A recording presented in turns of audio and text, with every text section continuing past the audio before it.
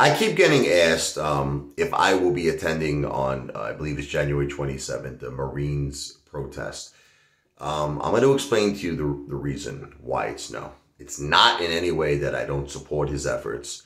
It's not in any way that I am not very pissed at the corruption at Adam Aron specifically at this 10 for 1 reverse split. I, am freaking uh, enraged, okay? It's just that I believe we all have to do awareness and peaceful protesting on, on our own, not only areas, okay, but something that we all have to kind of consistently do. And I'm very curious to see how his turnout's going to be because I didn't have a good turnout on my protest. And that's another reason because I'm not sure how serious, okay, everyone is for peaceful protesting. And that was one of the reasons why I decided to kind of just do it on, on my own. You know what I mean? To just constantly pump out videos, constantly, you know, get my, you know, audience growing, which is, you know, what I'm trying to do, and to keep just, you know, repetitiously talking about corruption, manipulation, uh, Adam Aron specifically the 1%, Gary Gensler, Department of Justice. So, but in, I don't want you to misinterpret, see, because a lot of people are misinterpreting. They're like, oh, but you, you should go, you, you know. Listen, I'm one person, okay? The AMC apes are millions, okay? So we all need to do this. This is not, and this is what I've been trying to preach to you. This is something I've been trying to preach to you from the beginning. This is not a one man show. All right. And everybody, you know, actually made fun of my protest because one man showed Billy the kid, right? Billy. But the point is, because of that, that's one of the reasons why I just look. When I put out the protest, I was hoping for a very big turnout. I didn't get a big turnout.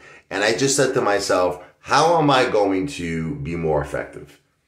by, you know, setting a protest where one person shows up or by dedicating my life to fighting corruption, dedicating my life to getting the message out to as many people as I can to create a fair Wall Street. And I applaud the Marines' efforts. I think he's a very strong ape with diamond balls of steel. But this was his effort. I'd like him to lead the way. Okay, I want to see how it turns out. But I am 100% behind you. Okay. I will continuously ask if you can show up, if you're in the area. I believe he's having it. I believe it's Washington, but I'm not sure. It might be multiple um, destinations. You might want to speak to the Marine about that. But I believe Washington is definitely going to be the one they're doing on the 27th from what I was hearing from different videos. But you might want to clarify that. But I 100% support his efforts. But I, I just feel we all need to do what we feel is right. And right now, what's right for me is what I'm doing. Just making a ton of videos, getting the word out there. And, you know, I feel like I've been doing a lot because I feel like a lot of people are talking about it. I feel like I am really getting people, you know, to the point where they want to fight back. Again, we're talking peacefully, we're talking legally, we're talking within our constitutional rights. But I feel I am doing a good job in doing that. And I'm going to continue to do that. But I support you, brother. God bless you. I hope you have a great turnout and keep up the great work. This video is not financial advice. I'm not a financial planner. This video is for entertainment purposes only.